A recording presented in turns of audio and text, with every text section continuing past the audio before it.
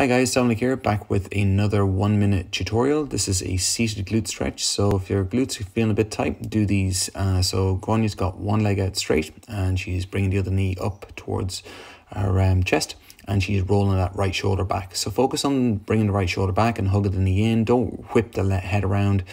Uh, occasionally in this position, you can do some PNF stretching. So she's going to push the knee into the arm. That's just contract, relax stretching. That just kind of communicates with the muscle just to try and let go into it a little bit more. Um, but you can do those contractions anytime you like. It's very easy. Uh, so now she's going to do kind of like a almost a pretzel version of this one.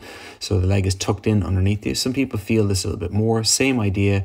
Bring the knee in, roll the shoulder back. So there's two different variations on some glute stretches.